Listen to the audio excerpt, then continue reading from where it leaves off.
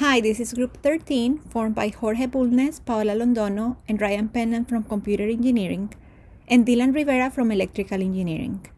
Our group is Cerberus, a self-propelled robotic car with voice command and object recognition. There are many robotic devices that are self-driven. For example, the Roomba vacuum designed to collect trash, or the self-driven lawnmower so you don't have to do the work. Many of these devices have been commercialized and have the capacity for path rerouting or obstacle avoidance. Adding a voice command to these self-driven cars is a feature that allows the car to move and take direction from someone speaking to it. However, most of the existing projects are either prototypes or for very expensive and specialized purposes. Our group would like to combine obstacle avoidance on a self-driven car with voice command and object recognition. There are not too many instances of research and current projects involving the combination of these three elements. Being able to combine these features could be the, the beginning of how a visually impaired person sitting in a living room could have a walker left by the main door brought back to him or her, or someone that just had surgery could ask a robot to find his or her cell phone and bring it back to the bed. There are many possibilities. Our main goal is to build a functioning self-driven robotic car that can move front, back, left, and right with the capability of following a basic and specific voice command related to directions, and that asks about finding a target and locating it while avoiding any fixed obstacle in its path. We must successfully apply machine learning and algorithms to be able to achieve our results. Our basic goals are more specific to the different stages of the project. So first, we want to be able to build a, pro a pro and program a robotic car able to move in different directions and recognize obstacles by stopping and avoiding them with the use of a distance sensor. Second, our car should be able to recognize simple voice commands related to directions, for example, move forward, stop, turn left, etc., from a program list. Third, the car will be able to take a voice command to locate a pre-programmed object. And fourth, using a camera, the car will locate the object that was requested to be located. For our stretch goals, first we would like to be able to build a self-driven robotic car with visual learning navigation technology that can avoid dynamic obstacles in a more complex environment. Second, our team wants to build a self-driven robotic car with mapping techniques capabilities able to avoid dynamic obstacles. Also, the car will be able to have a robotic arm designed to grab specific objects the user requests. The object will be communicated in the form of a voice command and the robotic car will be able to look for it in a specific environment. Third, we would like to for the robot to be able to announce the name of the object that has been identified. In this form, the robot will be using voice or sound as input and output.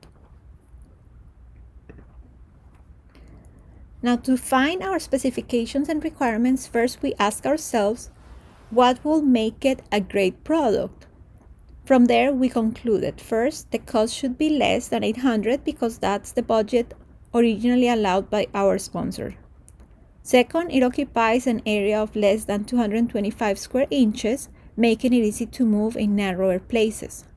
For the camera quality, we wanted a minimum of 1080 because there are fewer image detection errors this way. For the microphone, we want one able to connect to a, at least one of the available voice to text processor to facilitate this part of the project. Regarding the distance sensors, we wanted something able to locate an obstacle at least at at least four feet away. We want to make sure that the robot can turn away from the obstacle when it's one foot away. Finally, we want to keep the car light, less than 5 pounds. This allows to use cheaper parts and less power. As you can see, this is our hardware block diagram. This is an important aspect of our project because here we can show how the microcomputer controls every aspect of the robot. You can see that it will control the software, but also the mechanical parts of the of the project. It controls how the motor drive works, uh, how the wheel track system works, how that's gonna combine with the software, which is gonna be the voice to text and the visual recognition, which we're gonna have. For the software block diagram, this is an important part because we're gonna be using the JetPack, which is a software by Jetson Nano. This will allow us to integrate the libraries that we need for our robot, and you can see how we have simplified how the the software part is gonna work. So we're gonna have the libraries, algorithm, and the programming language controlled by the IDE, which is gonna be done by the simulation. Uh, it's also gonna do the part of the communication, and it's gonna have also the integration. Here we have our system design diagram. This is what the car is gonna do. Once everything is, is done, we are gonna uh, provide the actual voice command, and then the car is gonna move. If there's an obstacle found in the way, the car is gonna reroute and try to look for the continuous path to look for the uh, object that we're gonna try and set for the robot. Here on the design visualization, here you're gonna see the bottom of the chassis.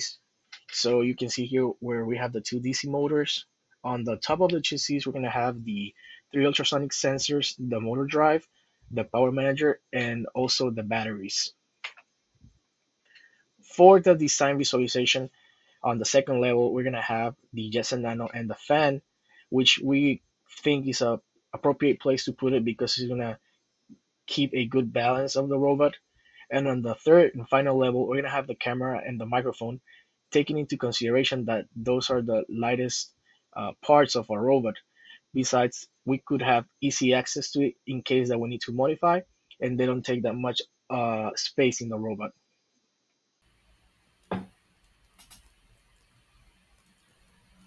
So our PCB uh, block diagram will be, um, we will have a input connector, which we will connect the batteries. We would then go from there to two ATmega chips. And from these ATmega chips, we would have three sensors. And these three sensors will each have their own connector in the PCB. And then we also have a DC motor drive, which is an L293D chip. And from these chips, we would have some um, two extra connector for the DC motors. So each um, component will have its own connector on the PCB, so it's easier easier for us to handle. And yeah, so on our P- our PCB design approach, uh, we the main function our PCB must accomplish is to power on our motors and control our sensors in order to obstacle avoid. We will have three ultrasonic sensors and two motors connected to it, and our PCB has a power stage with our main source being two 3.7 volt lithium ion batteries. Then we will go through our circuit powering two ATmega chips, and these will control our sensors and send commands to measure, measure distance. This will be connected to a DC motor drive L293D chip that will be connected to our DC motors. Now I will show um, what we have for our PCB design. And for this, we uh, we use Altium Designer. We use Altium Designer because uh, this is a PCB and electronic design automate, automation software package for printed circuit boards, and which is easy and effective to use. In in the time I've used it, it's um, pretty straightforward. Um, to make sure the connections are correct, we use Altium to validate schematic and make sure there are no technical errors. And also we have simulated the connections with the code of the actual components. So um, basically our PCB will go through three stages, which are the power stage. And the power stage will be controlled by, by some integrated circuit operational amplifier and integrated circuit voltage regulators.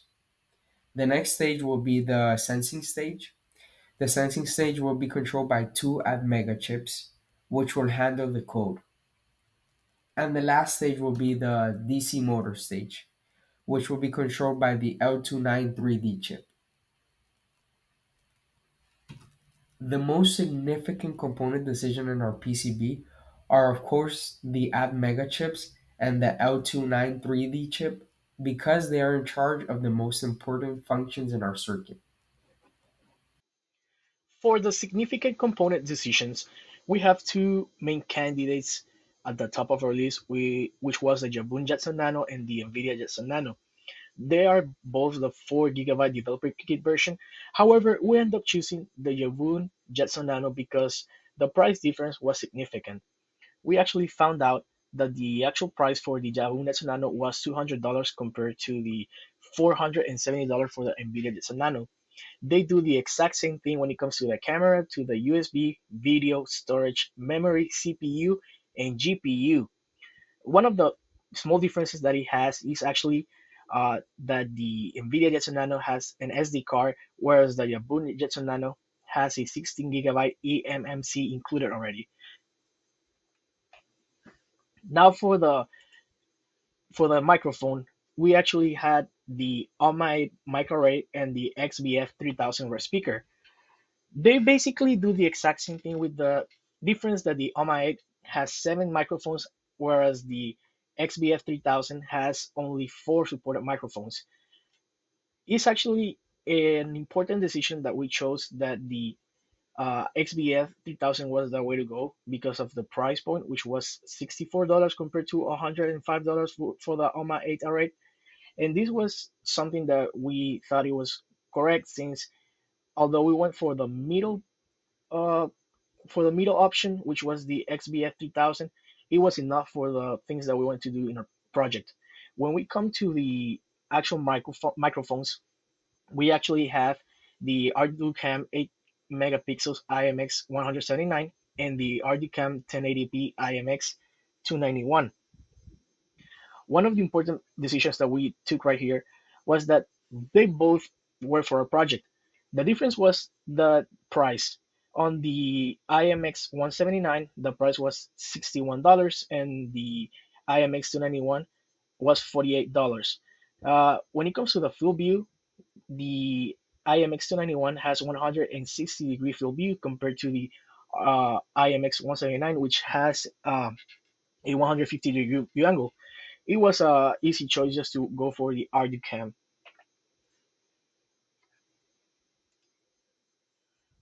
For the significant design decisions, we want to have a wheel that's able to rotate 360 degrees without constant pivoting.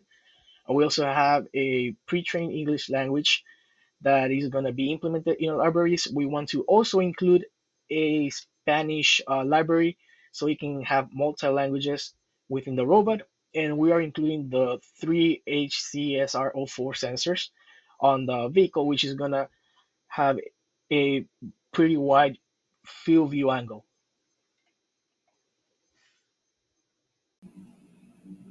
There are many constraints when it comes to our project.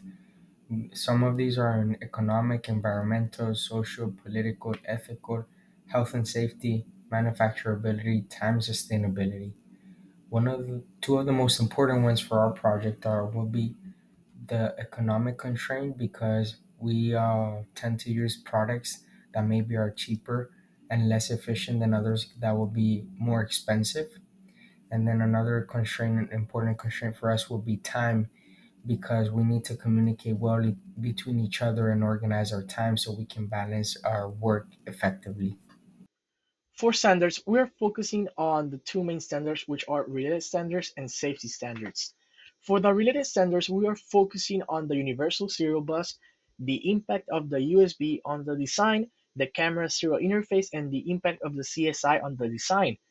This is important since we need to take into consideration the impact of the USB on our project, uh, the camera serial interface, which is a communication protocol, which we also need to uh, target the, lar- the largest impact of the CSI on a project, which, which will be the steady communication between the camera and the microcontroller. For the safety standard, we had to focus on the braking system, the awareness of the devices, the audible and visible warning system and control devices. We need, we need to make sure that the braking system works, and in case that if it fails, we need to have a button or a system in which we're gonna make sure that the robot is gonna stop. We also need to take into consideration the people that may come across the robot, and the robot should stop or reroute in order to keep the the people's safety and the robot the robot safety. It needs to have an audible and visible warning system, which is gonna make sure that people can see it. And when it comes to the control devices, we try to follow the OSHA rules that has the 12 points to consider, which we need to make sure that the robot is visible, that we have a control panel that is outside of the robot, that has a separate brake in case that it locks and we need to stop the robot, and it needs to have the power that conforms to the specifications.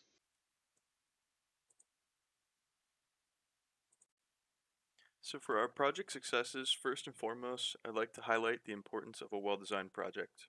It really lays the foundation for a successful project outcome and it enables us to achieve our goals efficiently. In this project, we really took the time to carefully plan out each stage of development and we considered all necessary factors such as our resources, our timeline, and our budget. As a result, so far, designing and implementing the vehicle portion of the robot has been very successful. We've been able to meet all of our goals to this point within our specified time and budget constraints. The project design has also allowed us to efficiently manage our resources, ensuring that we're making the most of what's available to use. We've also begun working with TensorFlow, getting that environment set up, and that has been a critical part of the project. This involves installing and configuring all of our necessary software tools, libraries, and dependencies.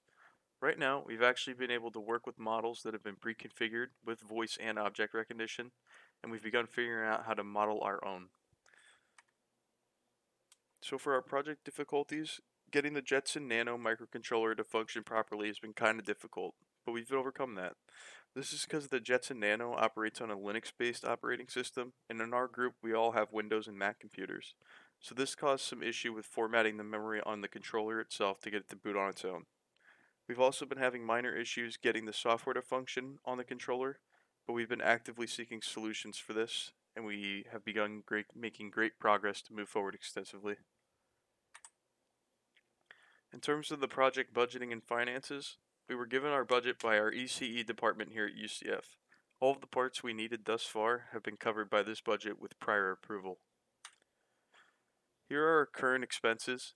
We had anticipated that the microcontroller could have been closer to 70 or $80, but due to the recent shortage of chips and microcontrollers altogether, that price has inflated to $200. We have received nearly every part that we ordered. We are just waiting on the battery charger. There are multiples of some components here though. That's just due to the nature of testing, because there could be faults with specific components. For our current progress, this is what the vehicle looks like in its current state. The motors and sensors are connected to the board, as well as the wheels being attached to the motor drive. They have been extensively tested to make sure each component is working properly, and we've begun slowly implementing software to test the capabilities of these parts. Alongside this, we have our simulation software that is being useful to test our pin connections to the Arduino, so we can develop initial testing code. Right now, this chart shows our progress on the pro or current progress on the project as a whole. And this slide shows our current work distribution. Dylan and Paula have been dealing with the physical and embedded side of the project mostly. Jorge and I have been dealing with more of the software aspect.